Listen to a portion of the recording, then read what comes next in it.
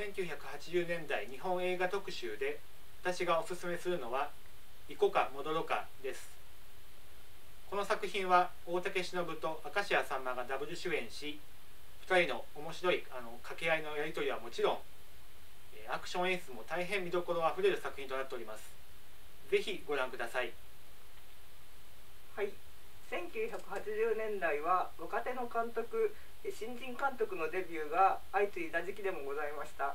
今回の特集企画でも新人監督の作品を多く取り上げております。中でもおすすめは李十剛監督の「ザジ」です。